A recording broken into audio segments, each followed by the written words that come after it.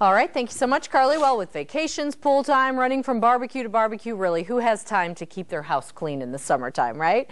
Well, thankfully, John Hanson is here to discuss some things we can all do to keep our houses spick and span during these summer months. And your main thing is work smart. Yeah, in the summer it's hot, and so you don't want to be spending a lot of time scrubbing. Mm -hmm. uh, so it's it's great to just get organized, work smart, gather everything up in a bucket, uh, so that you're not running around. Okay, so everything in out. one place. Yeah, okay. exactly.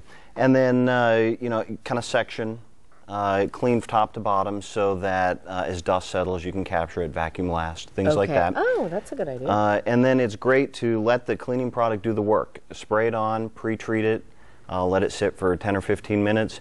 Then when you come back, you can just wipe it up with a microfiber cloth or something like that. Okay, very good. We can kind of yeah. down the row. I know you um, brought some different a couple little things. Uh, supplies for tips. Yeah, uh, scrubbers, any kind of scrubber. Uh, that way you're not trying to scrub with the microfiber. You can use the use the proper tools. Okay. Uh, a paintbrush is great for like figurines and hard areas, uh, even some speakers and where you get into. So it's great for uh, crevices and whatnot. Okay. And then this is a, a good one. Just use uh, an old toothbrush to get, um, you know, toilet seat hinges and around faucets and things like that. Okay. Hopefully not the same toothbrush.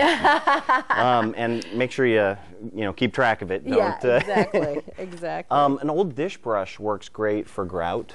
Okay, in the uh, shower. yeah, exactly. So, uh, See, I was going to say this areas. would be very tedious in the shower for yes. the grout, but yes. you're saying use the bigger one. Okay. Yep, and that works really well. And then here's a trick, uh, a pumice stone, and that is you just get it wet and you get all the hard water deposits and whatnot off of the uh, inside of the toilet. Very, very good.